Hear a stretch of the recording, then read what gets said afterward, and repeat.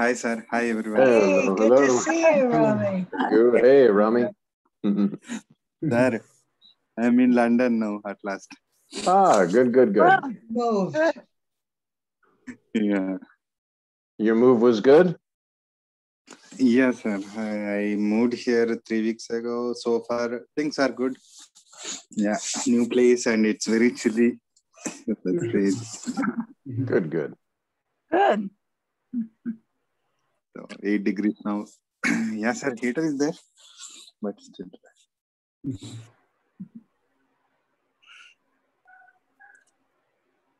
And glad to see you all, sir, and uh, some new people as well. Yes, yes. I know Rami. Om Hi, Jai Guru. Jai Guru. Hi, Paul. Paul. Paul. Yeah. Well,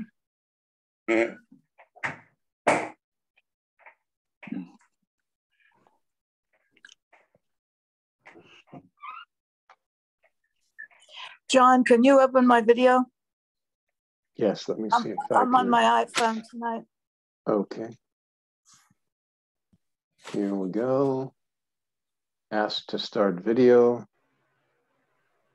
And it should start now. There you Yeah. are. Hi. There you go. Hi. Hello, hello. Hi. Hi. Hi. Hey, Hello, hello. Hey, Trish. Hi, Rumi. we missed you, Rumi. he's not in, he's in, he's in England now. He's not. I, I know. I know. Yeah. I know. Mm. we Actually, missed him when he was in transition. in fact, I miss you all actually. Last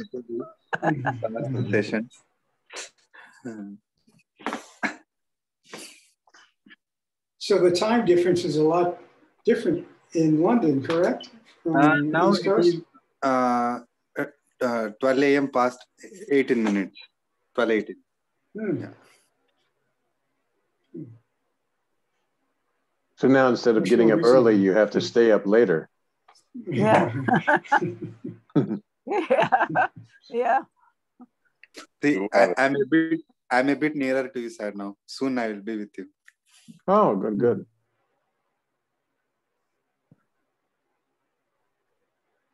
All right. We did get one question uh, from the uh, website, and it says, I'm convinced I'm not the body, name given to the body, or anything associated with the body.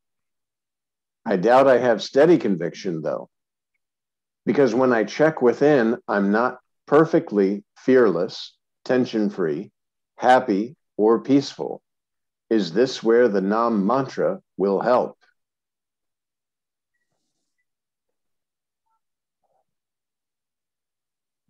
If you are convinced you're not the body and the name given to the body or any association with the body, then who's asking the question?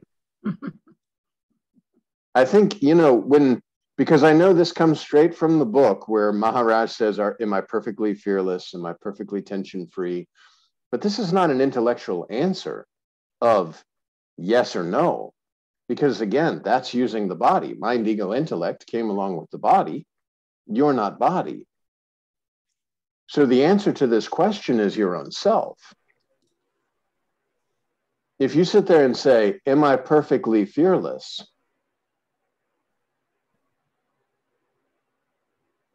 There's nothing there. Mm-hmm. No fear, no tension.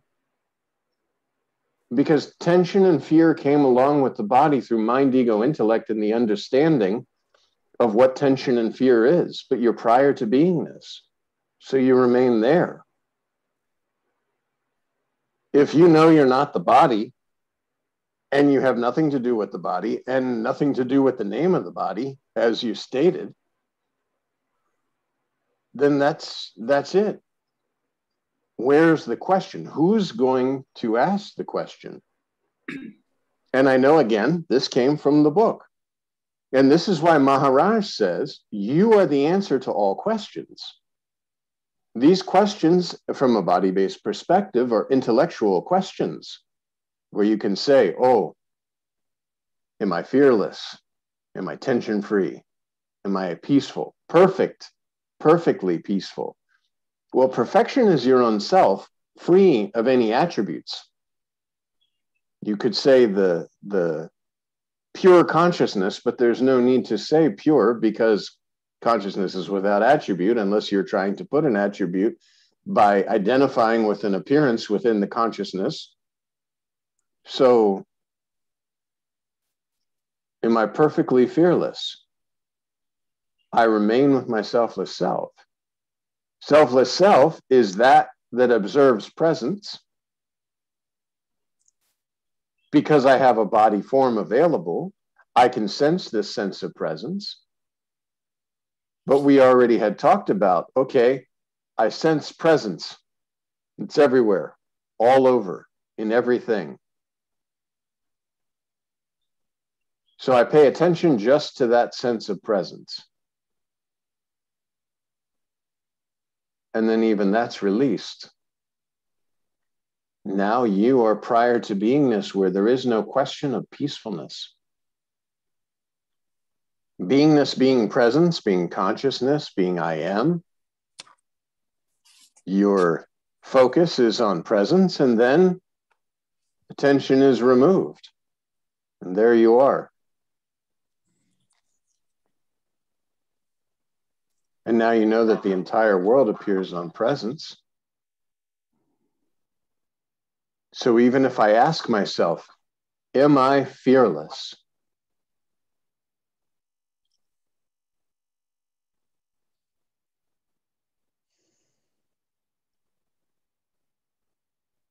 No fear, no not fear. There's an abs- absence of any attributes that can be attributed through the words fear or not fear. What is fear? There's nothing. Am I tension free? Okay, first I can sit there and just, because in meditation I sense that subtle sense of presence. So I sit here and I'm remaining just with presence, just die, just die. And then releasing the attention of that presence puts me prior to presence, prior to beingness. Formlessly using this body instrument, but prior to anything having to do with it.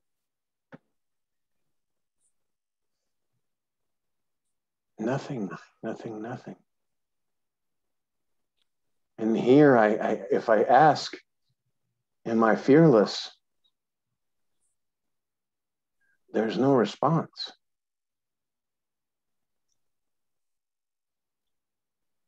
Am I tension free? There's no response. Who is here to respond?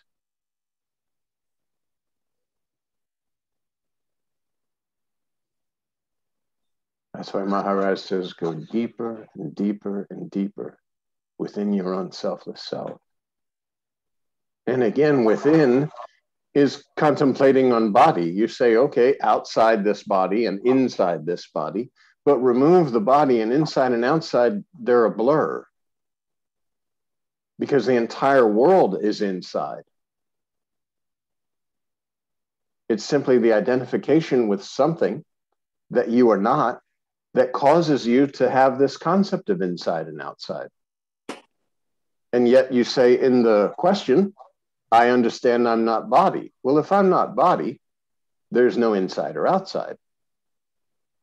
If I'm not body, and I know I'm absolutely, I know I'm formless. I could identify just with the I am or just with the sense of presence and nothing to do with the world. Where's fear? Where's tension? And to whom is this tension going to be? The space in the room is not experiencing any tension. The sky, even in the roughest storm, the sky is not experiencing any tension, any disturbance of any kind. And as you said, you know you're not body, you know you're not the label of the body. There's just that one conceptual misunderstanding slightly of Maharaj has asked me to ask myself, am I perfectly fearless? Am I perfectly tension free? Am I perfectly peaceful? When, when there is no one there, you are. These questions that you ask yourself, even who am I?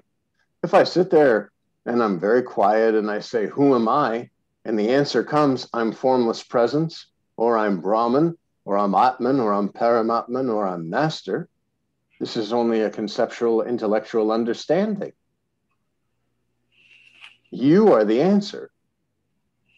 And by you, your true nature, as you have dissolved all these different layers that are appearing or covering that that you are.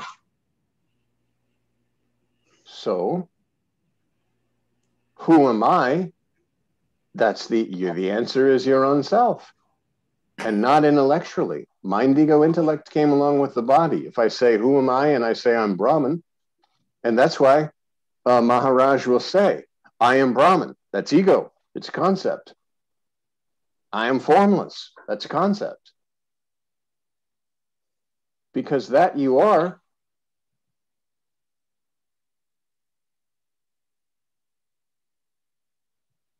That's the answer to every question. That uh, you are, can it say that I am that I am? Or can it ask itself that who am I? Whoever is asking that is just mind, right? Yeah, well, who am I? Again, the answer is that you are. Because you could say, okay, in meditation, you feel a sense of presence. But we now, as much as we're meditating and remaining with our selfless self, we should be able to basically sort of fall into that presence at any given moment. But now you're you're prior to this presence because again, you're more subtle. You can witness this presence just like you're more subtle than sky or space. You can perceive these things. So presence is felt through the body form. The first time you know, I am, I exist. And now, this that you are is prior to beingness. Prior to beingness, how are you? I, I don't know. There is something here that is seeing presence, or and seeing is the wrong word because you're not seeing through eyes. I, I don't know exactly how you're seeing this. It's like a it's just a subtle just I, just I. And you're prior to that. And that's how you know also that the birth of I am or I exist is the so called lifespan. Okay, I know I exist. And then when I no longer know I exist, then it's called death. But I exist.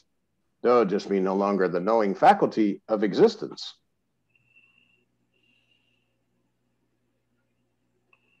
That you are. Who am I? Is that basically like we talked about a black hole in, in which all concepts are just sucked in, sucked away, like they're just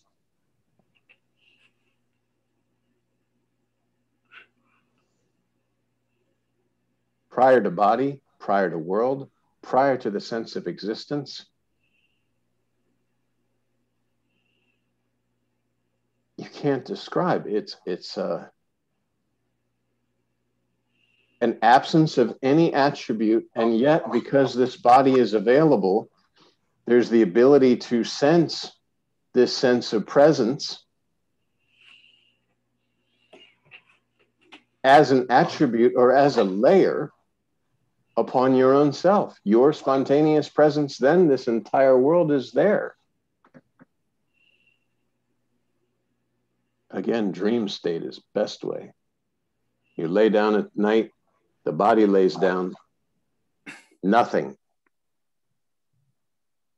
Then all of a sudden, the sense of existence, and boom, a dream world is projected.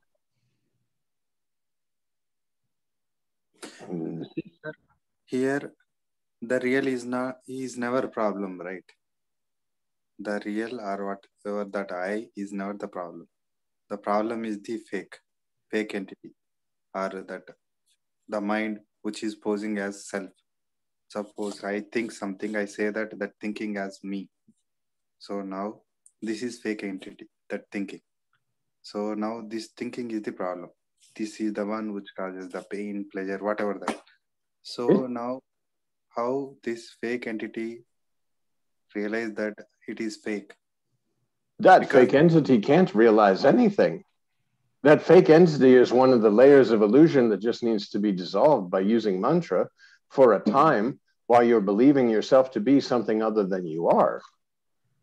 But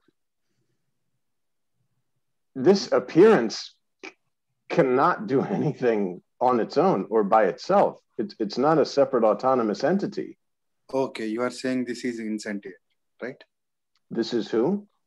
insentient it is it, it i mean you are saying it's it can't function autonomously The Yeah. body is a lump of goo that the formless presence is animating. But the formless presence is outside and inside, and in all the bodies and in all the forms. So there's no inside or outside for the formless presence. And you identify with the formless presence rather than the body instrument that you appear to be using in the moment. And it's just like a dream. Maharaj points to the dream because it's if you're inside your dream, and you're dreaming that you're moving around or hiking on a mountain, you are the mountain, you are the hiker, you're the water that is being drank by the hiker who's hiking up the mountain. You are the sky, you are the birds in the sky, you are the beautiful view that the hiker is appearing to see because it's all coming from you. And you know this when you wake up from the dream, you say, Oh, I had a dream I was hiking on a nice mountain and seeing a beautiful view but it was not true. None of it. And as you know yourself in a real sense, you understand that this entire worldly existence is absolutely not true. Because you are formless. You are without attribute. You are without nothing, nothing, nothing. So you say, Who am I? And the answer is that Black hole. Yeah, that one prior to presence that has no attributes and yet can consent is more subtle than this subtle sense of presence that can be felt using the body form. And that's the answer to all questions. If I sit there, I say, How was the world created? Ask myself. The answers will come. The answer is there's nothing.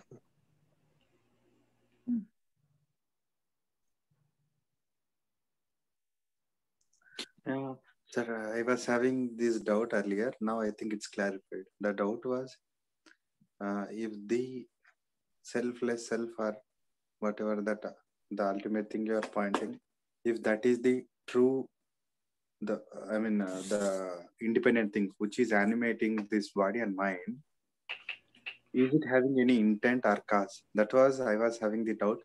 I think what I understood in this moment is how an electricity you know goes to into particular color of the bulb and accordingly it glows and it goes to another place and it may turns rotates the fan.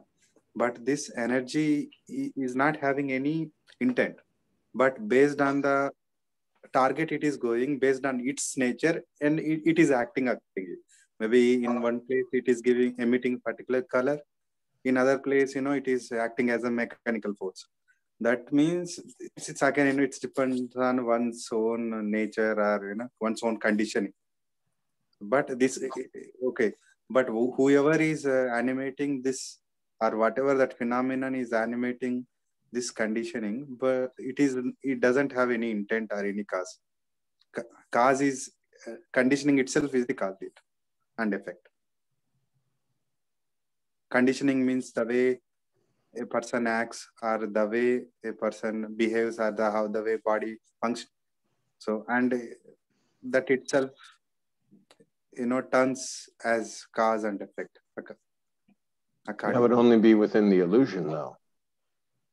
Just like within a dream, you could say, and you can you can talk about in a dream. Oh, look, there's a robber over there, and there's also a couple who's proposing to one another, and there's another guy who's out on a boat boating, and they're all your own self. And there's no intent in your dream. You're just kind of the witness because you know that you're formlessly in a dream. You absolutely know there, there's this body is not involved in this dream world. Even the dream body that you may believe yourself to be is not actually yours. Oh.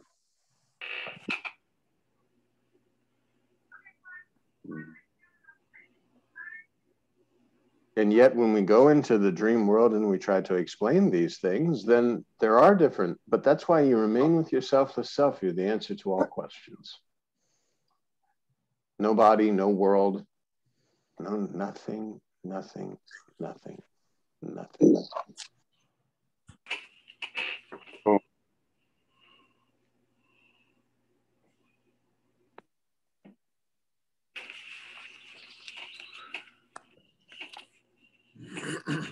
And while you believe yourself to be separate, mantra will erase the illusory layers so that this nothing that you are,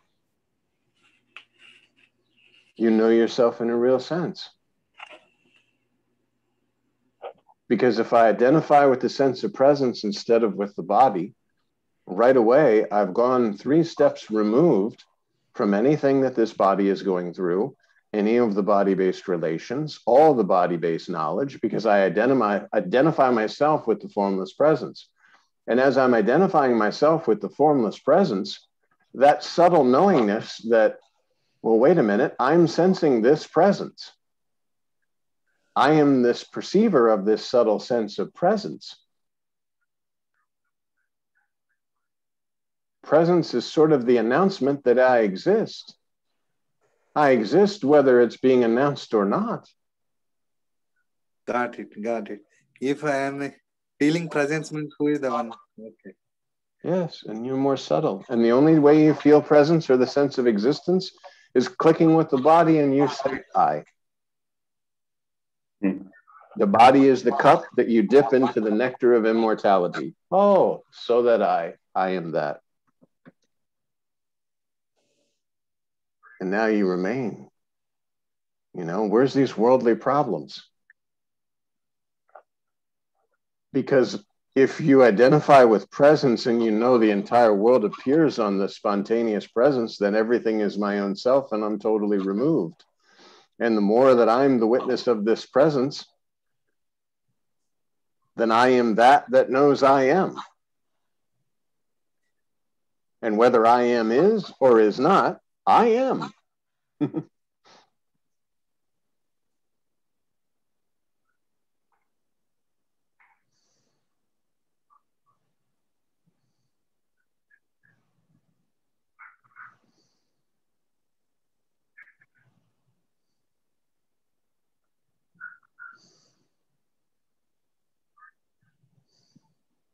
What is time in the selfless self? It's always now, it's spontaneous presence. There is no time, it's timeless. Oh.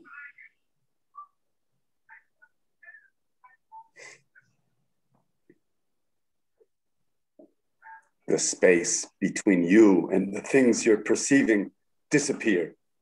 You become what you perceive. It's a miraculous thing. It's a marvelous thing, you know. Uh, and it's a good point of reference when you're in that tr- that, that trance. You're in you're in pure silence. Everything around you becomes you. There's no space, and that's when time is gone. You know, when uh, when you can see everything in this dream as you. Um, time is, is that question disappears. You know, No time. No time, no, no. Timeless. Timeless. Time, time requires a local identification. Yeah. When you The have no local identification, then where's time and who's to Oh. measure it? Uh-huh. Yeah. To- time to exist, there should be some matter to to exist. I mean, there should be a body. The, the idea of the body and its existence should should be operating. That you know they are true. I mean, the body is true. Then only mean, that local identity is there. Then only the time exists. Does time exist without this entity? No, right? What time? Again, you have to have a local identification to measure time. Think about dream, even when you're inside the dream. And Maharaj has said this your dream only lasts about 30 seconds to two minutes, scientific wise, says this. And mm. yet you may dream hours and hours and hours. And that's only because of a local identification within the formless consciousness that you're measuring the time. In reality, the body that's outside of this, in which this whole consciousness has appeared in this side of this dream, is outside of that time completely. Because it's really in reality, as you are sleeping, two minutes. Within the dream, from the local identification within the consciousness of the dream, it's ours. And now, this body that's laying down sleeping, in which there's two minutes in reality, the lifespan is the same for that you are. This appearance is appearing and disappears.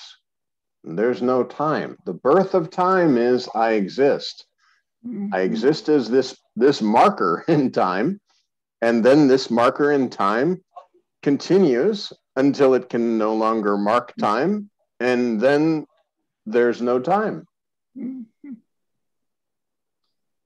Oh, Uh-huh, sir, here I think one more thing.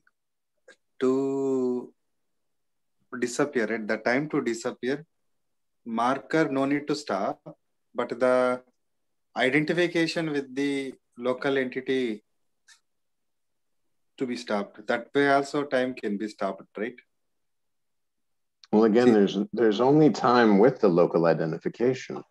And when you know yourself in a real sense, you're outside of time. That's why we talk about all the time. The scenes come and go. Just like here we are again.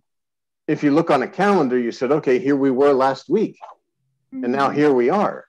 But there's no concept of a we're just here. we're, we're here. And when this is over, boop, it goes away and post it. And then whatever happens is coming in a new scene but there's no identification with anyone that's desiring to grasp and hold on to any sense of anything therefore time is is not it's just scenes appearing and disappearing Oh. scenes appearing and disappearing. Uh, please go slow here. Are you saying in the death time collapses?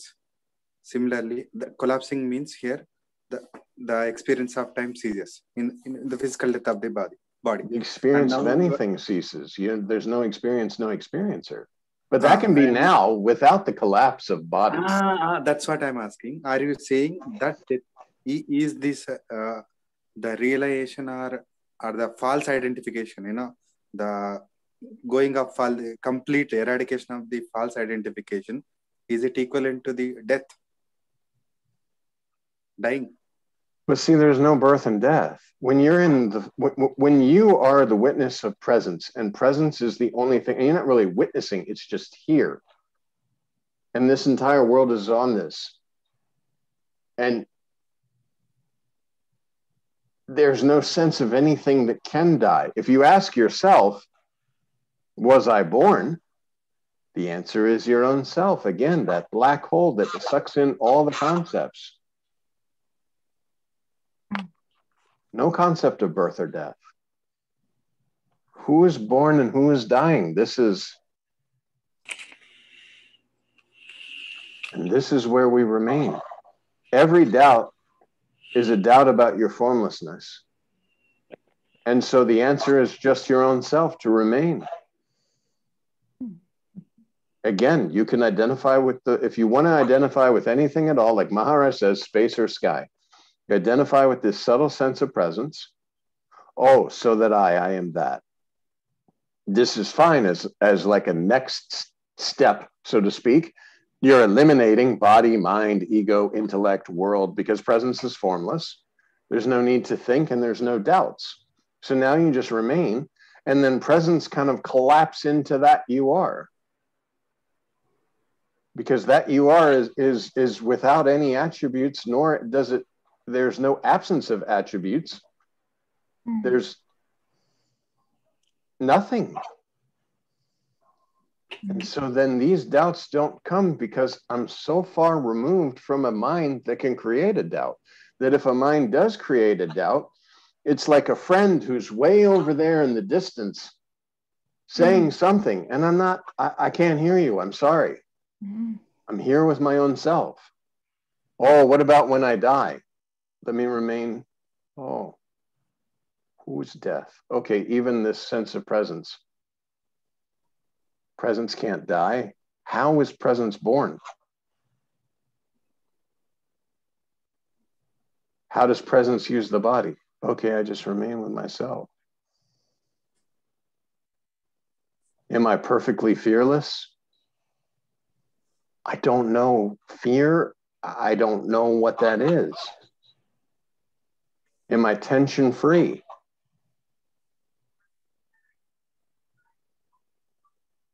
I don't know. Hmm. What will happen when I die? Hmm.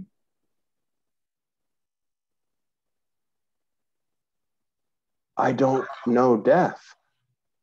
Death is a concept that came along with the body, and I'm prior to the presence because that's my main focus here.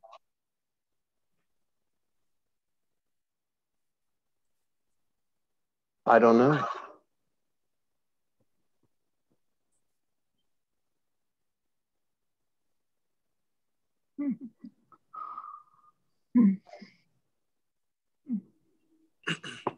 So, sir, earlier you were saying that now the present is filled with the content of body and mind, and you are saying that assume yourself as sky as a beginning.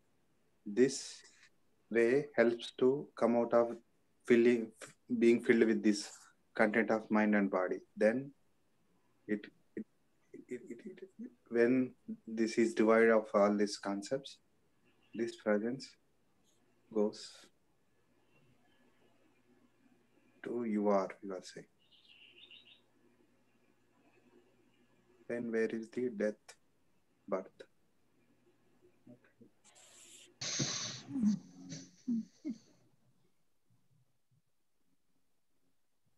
Sir, I am not giving any running commentary here, by the way, just you know, trying to No, no, it's okay. It's okay, okay. to understand. And it's and it's not an intellectual understanding. It's a direct experience of your own self. And if for a time, you know, we've we we've all been doing the meditation, so we know this subtle sense of presence. Now, without conviction, that may appear to come and go, but I know that I am this sense of presence. I identify with this sense of presence. And on this sense of presence, mind, body, intellect, ego, world, all these things are. So, because, like you said, if this body, if presence is removed from this body, it's a dead body. So, world is gone. Where, where is world? Where is all these things? Without presence, nothing is. So, okay, this subtle sense of presence is my own self. And that's Nisargadatta Maharaj says, remain with the I am. Just I am. Just I, just I. I without anything. Just glimpses of I. And that subtle sense of presence, okay, I identify with this. That gets rid of all of everything except presence. And now, the more I identify with presence and I remain with presence, that also collapses.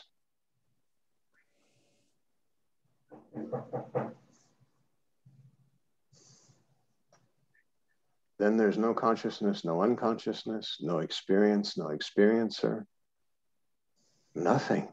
Okay.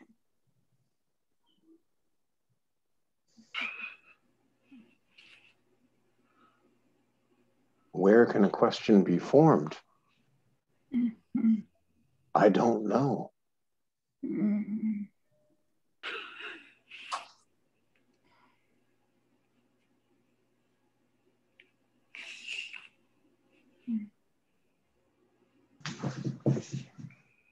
And now, knowing myself in a real sense, I can go out into the world and do my job, do my duties, take care of all my responsibilities. Because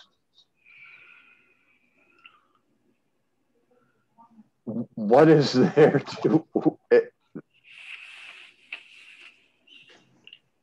there's no I, no you, no me, he, she, it, nothing. and i'm not even one with everything because there's no there's nothing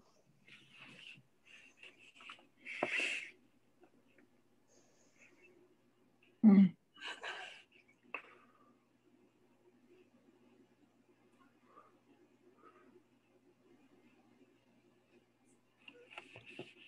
and this is the background that can be found in any experience anytime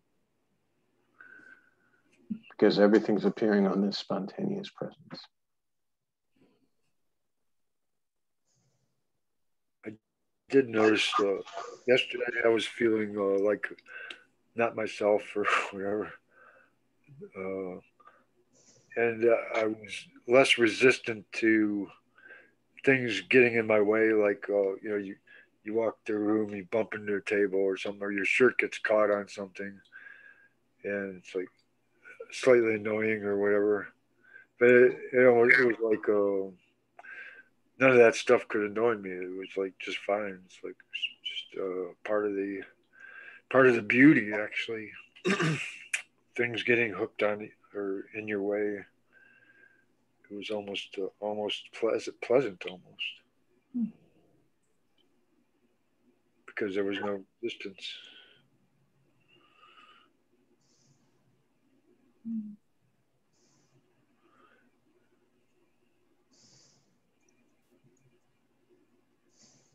But that I can't say I, it happens all the time. But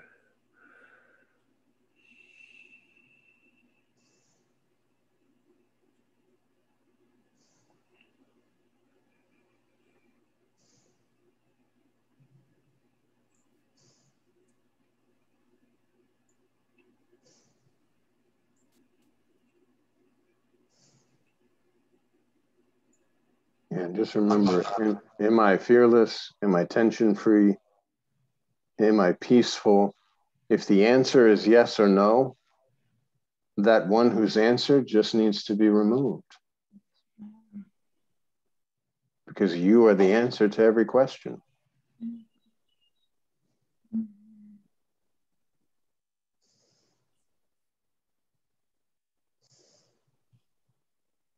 So when there is, uh, say, extreme pain, uh, it's I suppose it's possible to just see that as part of the whole scheme of things and not be as affected by it because it's just something that's going to be there for a while or something. well and again we talked about if you're chopping wood in your dream and you chop your arm it, within the dream you may experience severe pain even upon waking up you might oh okay my arm is still there but it's not the reality I guess we're going to get cut off here, but your arm was never being chopped.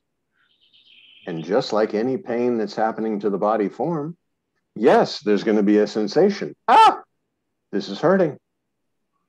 But nothing's affecting you. Oh, yeah.